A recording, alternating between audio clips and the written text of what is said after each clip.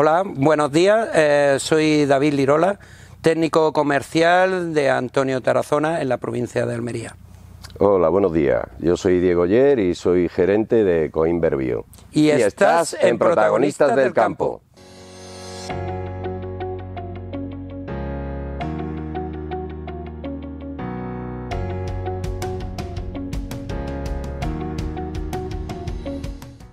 Buenos días, eh, estamos aquí en una finca preciosa de pimiento en la provincia de Almería, de la empresa Ecoinver Bio. Y estamos con Diego Oyer, que le damos las gracias por haber venido. Gracias a vosotros por invitarme a vuestro sofá. y, la conversación que hoy queremos tener un poquito es sobre una tendencia del mercado o una corriente que todavía es gran desconocida en la provincia, no solamente en la provincia de Almería, sino en toda España, sobre, sobre lo que es la biodinámica. Eh, Diego Oyer es un referente sobre este tema, lleva muchísimos años trabajando en esta línea de, producción y, como técnico eh, llevamos muchísimos años en la provincia de Almería trabajando lo que es el ecológico, pero eh, el tema de la biodinámica hay todavía luces y sombras que la gente todavía no tiene claro qué diferencia la biodinámica a la agricultura ecológica. Diego, ¿cuál es el, el rasgo importante que puede diferenciar la biodinámica de, los cultivos ecológicos. Bueno, haciendo un esquema rápido, porque podríamos extendernos muchísimo, eh, eh, la agricultura biodinámica es el, escalón siguiente a la agricultura ecológica. ¿Vale? Eh, rápidamente, como comentaba, se pierde el concepto de finca y aparece el concepto de granja. ¿Vale? Y ese concepto de granja como un único organismo. ¿Qué significa esto?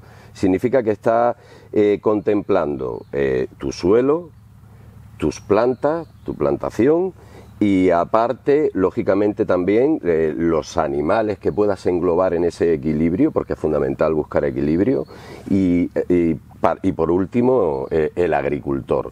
Todo esto, todos estos intervinientes son los que forman este organismo, ¿vale?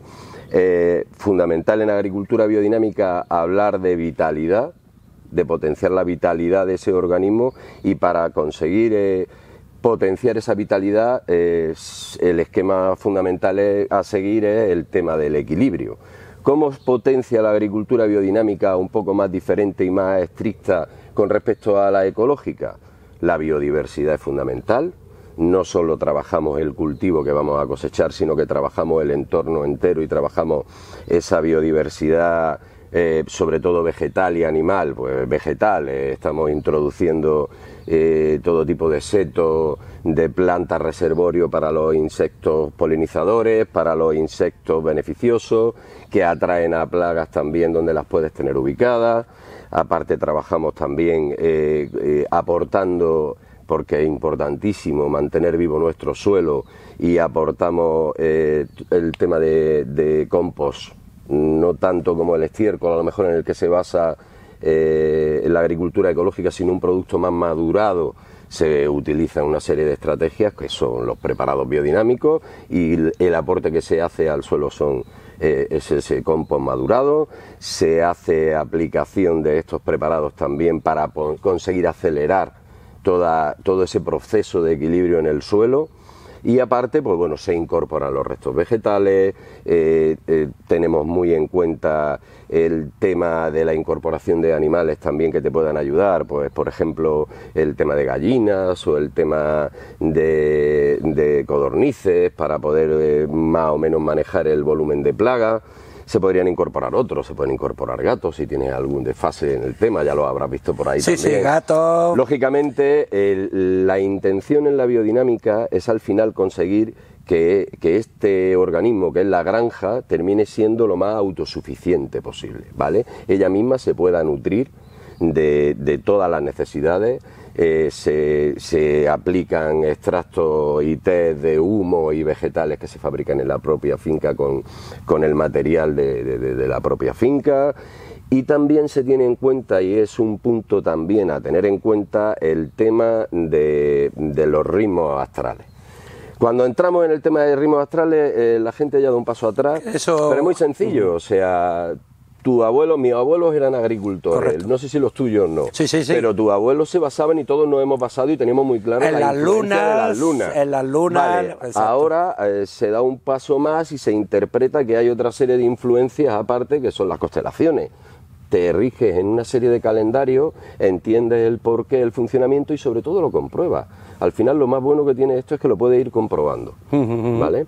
También se incorpora eh, en el cultivo, pues bueno, el tema de abonos verdes que nos van a servir a la hora de incorporar los restos vegetales a mejorar ese suelo.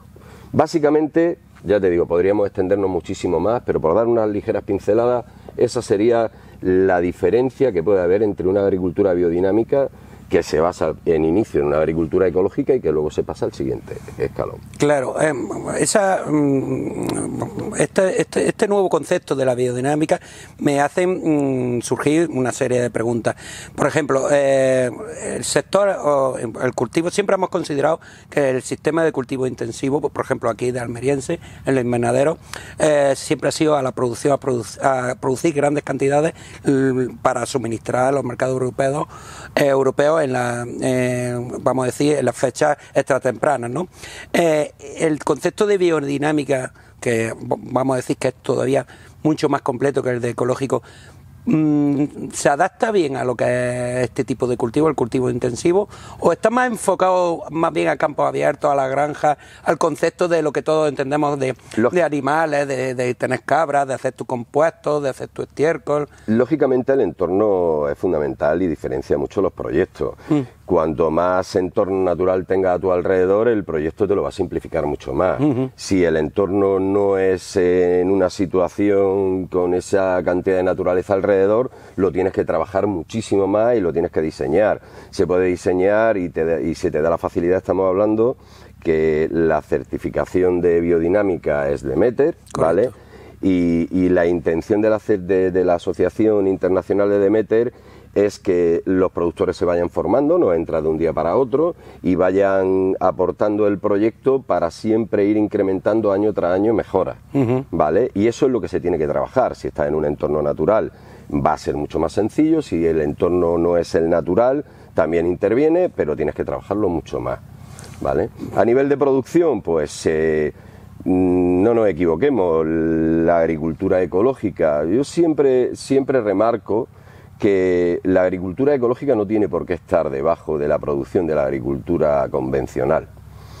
Y a, mi experiencia me remito. Pero ojo, hay un gran salto y una gran diferencia que, que es la velocidad de producción.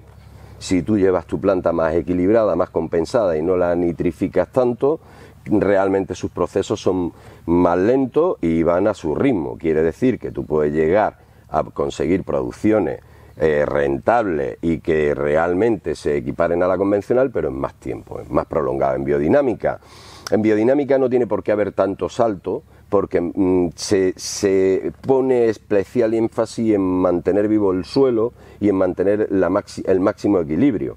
Entonces, en producción deberían de darse la mano con una producción ecológica. Yo lo que sí estoy viendo de que, por ejemplo, este concepto de biodinámica eh, para el mercado español es totalmente, yo creo que es desconocido. La gente sabe lo que es eco, bio, pero cuando le dices biodinámico ya se pierden un, un poquito. Y en cambio, mientras que te vas a otros países, como pueden ser Alemania, están muy concienciados eh, precisamente en este tipo de, de, productos. ¿Tú a qué piensas que es debido? Porque el mercado español no, no se ha querido profundizar en la educación, eh, en la escuela, en los institutos. Educación, fundamental. por eh, desgracia, nutricional, no sé. Por desgracia, nosotros en, este, en estos términos de, de medio ambiente, de impacto medioambiental, de, del impacto climático, todo este tipo de términos, en Centro Europa se están trasladando a, los colegios y mm. a la sociedad desde hace ya bastantes más años que por desgracia pasó aquí. Vale, no pasa nada. Si es cierto que ya se está notando enormemente a nivel generacional, nuestras nuevas generaciones ya sí que tienen asimilados esos términos y esos términos son los que van a potenciar, en primer lugar, esto va por, por fase y por paso. Estábamos hablando al principio de, la charla de, escalones.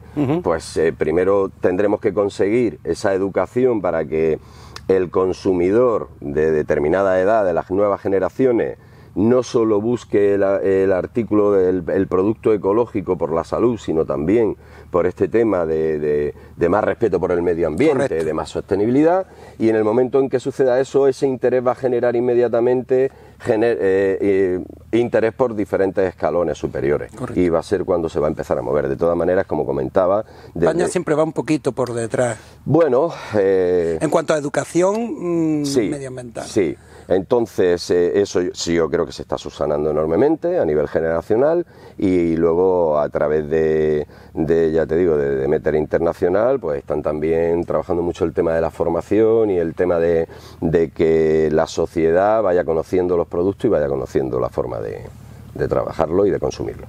Genial, genial. Claro, eh, luego siempre, eh, ahora, ahora yo pensando como he sido productor, de, he tenido fincas toda mi vida, he tenido, mm, mis padres han sido agricultores, mis abuelos han sido agricultores, me sale, claro, dices tú, bueno, yo como agricultor, por eh, pienso, venga, voy a ser más sostenible, voy a ser, eh, me voy, quiero apuntar a, la agricultura eh, de biodinámica. primero a la ecológica. Primero a la ecológica y de ecológica me paso a la biodinámica. Eh, yo siempre, como agricultor, tenemos siempre un problema, que es los precios en verdad se paga, o el, cliente extranjero, que es básicamente el que lo está consumiendo, paga bien la biodinámica, como no es que valga muchísimo más, pero eh, todo ese esfuerzo lo está valorando, o al final entras también a competir en precios con la convencional, es decir, si la convencional está barata, me compran a mí. Eh, la biodinámica y si está la convencional está cara, no hay esa diferencia equitativa de esfuerzo que yo hago por la biodinámica. Vamos a ver. Eh, desde el inicio de, la formación de Bio ya teníamos el principio muy claro que, y muy establecido de que nuestro trabajo es defender al máximo el producto de nuestros, de nuestros agricultores. Correcto. ¿Vale? Por desgracia, eh, el nicho de mercado de convencional es uno, el nicho de mercado ecológico es otro, el nicho de mercado de biodinámica es otro. Vale. Y como nicho de mercado se mueven por el mismo sistema que es oferta y, demanda. Si conseguimos equilibrar que esa oferta vaya de la mano de la demanda, siempre, siempre se va a poder defender mejor un producto ecológico que un producto convencional y siempre se va a defender mejor porque el interés y el consumidor lo tiene asumido un producto biodinámico que un producto ecológico y un producto convencional. Pero interviene siempre, y ahí es donde entra nuestro trabajo y nuestra lucha diaria, que te puedo asegurar que no es fácil, la pelea continua para poder defender ese, e, ese producto, interviene siempre la oferta y la demanda. ¿Vale? Y por desgracia hay momentos en los que hay pico de producción, hay situaciones que no deberían de darse, pero que se dan y en las que tiene una falta o una carencia de producto en convencional y sin embargo tiene un pico de producción en ecológico, un pico de producción en biodinámica que el mercado no lo asimila. Bueno, pues si hay una carencia en convencional, posiblemente en ese momento eh, el precio eh, se encarezca en convencional al ecológico, porque es todo prácticamente a día de hoy, como tú comentabas antes, eh, exportación. no le dé tiempo a recurrirlo, pues ahí está nuestro trabajo de tener que jugar rápido de una forma o de otra para, repito, defender al máximo el producto. De acuerdo. Porque a nivel institucional o a nivel, no solamente pues, estamos en Almería, por tanto en la Junta Andalucía, sino a través también del Gobierno de España, se, se, ayuda a este tipo de, empresas que apuestan por la sostenibilidad, que apuestan por la agricultura ecológica biodinámica, eh, tanto en su promoción como en la implantación precisamente de estos cultivos, o estamos un poquito abandonados, porque en su momento, por ejemplo, para el control integrado sí se ayudó bastante. Ahí la Junta Andalucía reaccionó rápidamente y se apostó mm, por precisamente el pimiento en control integrado. Pero eh, mm, a partir de ciertas acciones puntuales, ¿Existe eh, mecanismo o en verdad no están apoyando eh, las instituciones de alguna manera? Si te soy sincero, mm. con la campaña que llevo, con la nueva formación de empresa y con el nuevo proyecto, no he tenido todavía el tiempo suficiente de empaparme. Sí que es cierto eh, que hay alguna serie de ayudas, pero se tiene que potenciar mucho más. Se tiene que potenciar la formación en agricultura ecológica para poder transmitir al máximo posible, poder ir mejorando y, también se tiene que mejorar el tema de subvencionar esa formación y esa mejora a nivel de, de biodinámica. Sí, aparte del apoyo moral, que por supuesto que lo dan, pero... habría que coger precisamente, muy bien lo has dicho tú, en formación.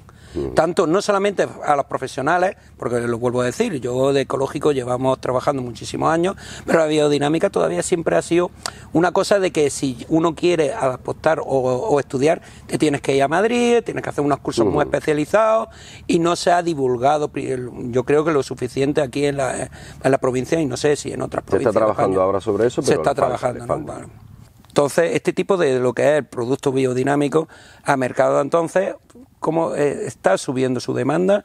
¿Se está ralentizando? ¿O precisamente tú qué augurio crees que, le, ves con, este tipo de, de, de productos saludables que todo el mundo conocía el eco, pero a, a lo que nos referimos a la biodinámica? Eh, el, cultivo, el, consumo de, productos biodinámicos está muy centralizado actualmente en lo que es la zona de Alemania y de Austria. Eh, es cierto que ya se está trabajando en, muchas más zonas y en muchos más países eh, a nivel mundial. Y también es cierto que está muy regulado por, el tema de Demeter Internacional, tanto el tema de producción como el tema de comercialización. Demeter Internacional, tengo constancia de que ha estado trabajando mucho con respecto al tema de aumentar puntos y sitios donde se puede acceder a este tipo de productos. Se empezó muy lentamente con, tiendas muy especializadas en productos ecológicos, donde se empezaron a, a incorporar este tipo de lineales eh, ya existen tiendas especializadas en esos países solo y exclusivamente de Demeter y aparte ya hay eh, cadenas, lógicamente con su peculiaridad, con una fuerte eh, incidencia social, con, una cierta filosofía, la tendencia de sostenibilidad que encaja con la filosofía de Meter y que también van a ir incorporando progresivamente. La evolución a lo largo de los años ha sido muy lenta, pero progresivamente se está notando un crecimiento. No va a ser un crecimiento desmesurado, ahora mismo se está trabajando muchísimo con el tema de, precisamente de esa oferta y esa demanda para que el productor al final y, la tienda especializada puedan tener sus márgenes y conseguir no llegar al consumidor a unos precios disparatados, pero sí es cierto que la progresión va a ir en aumento. Ah, genial. Muy bien, pues eh, Diego, pues muchas gracias. Eh, gracias por haber estado con nosotros un ratito y haber tenido esta conversación que, que nos ha aclarado muchísimo sobre el tema de la biodinámica. Muchísimas gracias a vosotros.